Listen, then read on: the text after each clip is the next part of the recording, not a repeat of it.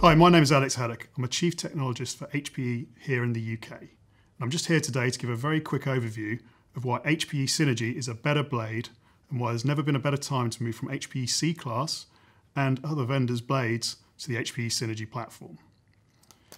Now, if I draw how we looked at HPE C-Class back in the early 2000s, bearing in mind that we released the platform in 2006,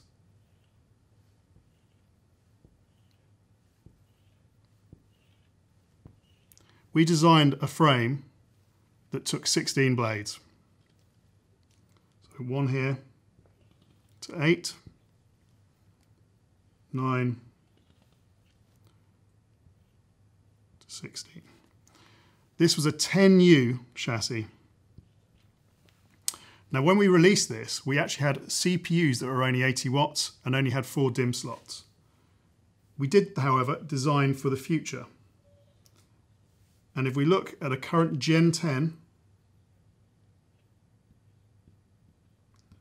C-class blade, we can take 150 watt CPUs,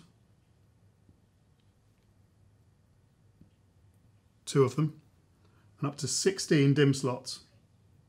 This gives you up to two terabytes of memory. So as you can see, we actually designed this very well for the future, but all good things come to an end, and we expect C-Class to go end of life in 2020. The good thing is that we designed HPE Synergy not only to be a new and clever composable platform, but to actually be a better blade. So we look at the HPE Synergy platform, I draw it out now,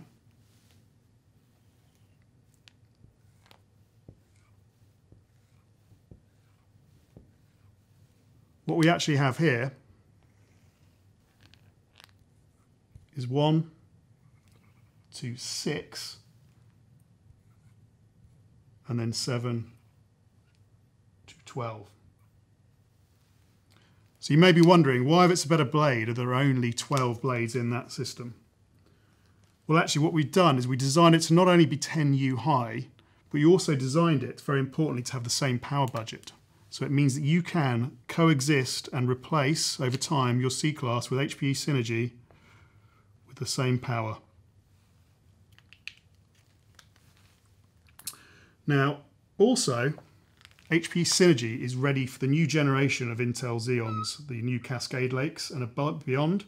And because of that, it can take today up to 205 watts. So as you can see, an appreciable increase in power of CPU and two of them.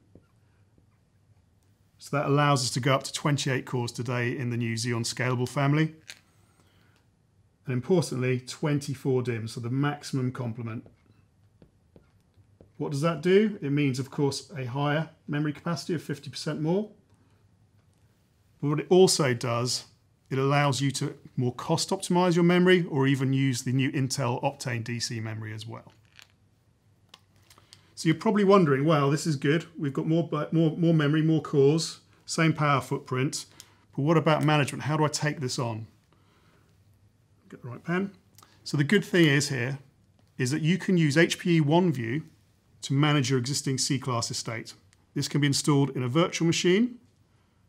And this is a great way to start getting ready to move to Synergy.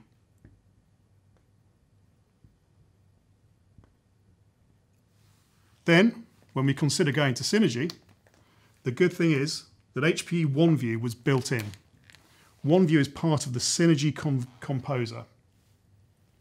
In fact, the whole Synergy platform is designed around OneView itself.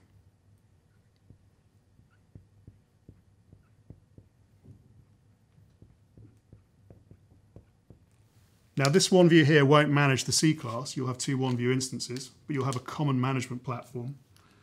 The nice thing is though, that actually there's a thing called Global Dashboard that is part of the OneView suite and is included.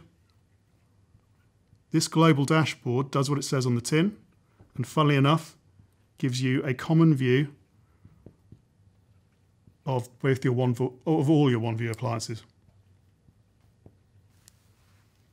So in the end, what we have is common management, but blades that are designed more to enable that management suite more memory, more DIMMs, support for new, new persistent memory technologies like DC memory. In the end, we just simply have without any frills a better blade. So as a call to action, I would start transitioning your HPE C-Class purchases to HPE Synergy today, ready for the end of life date in 2020.